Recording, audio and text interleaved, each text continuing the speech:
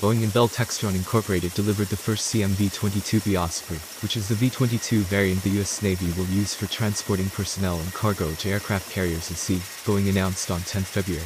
The CMV-22B brings expanded capabilities not only to the carrier on-board delivery mission, but to the high-end fight, said U.S. Navy Captain Dewon Chaney, Commodore, Fleet Logistics Multi-Mission Wing.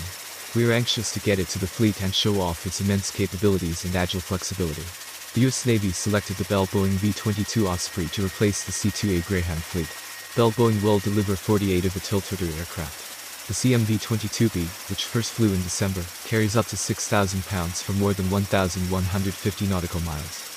It's the only aircraft that can transport major components of the F-35C engine directly to a carrier flight deck, a critical capability for Navy logistics and support. The Osprey will transform carrier fleet operations, said Kristin Houston, Vice President, Boeing Tiltrotor Programs and Director, Bell Boeing V-22 Program.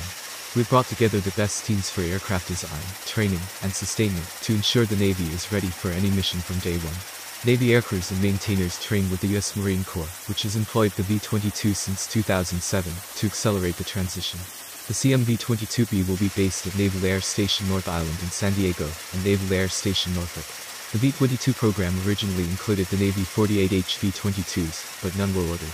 In 2009, it was proposed that it replace the C-2 Greyhound for carrier on-board delivery, COD, duties. One advantage of the V-22 is the ability to deliver supplies and people between non-carrier ships beyond helicopter range. Proponents said that it is capable of similar speed, payload capacity, and lift performance as the C-2, and can carry greater payloads over short ranges, up to 20,000 pounds, including suspended external loads.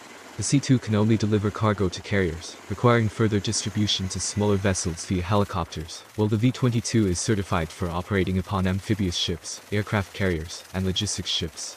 It could also take some helicopter roles by fitting a 600 pounds hoist to the ramp, and a cabin configuration for 12 non-ambulatory patients, and 5 seats for medical attendants.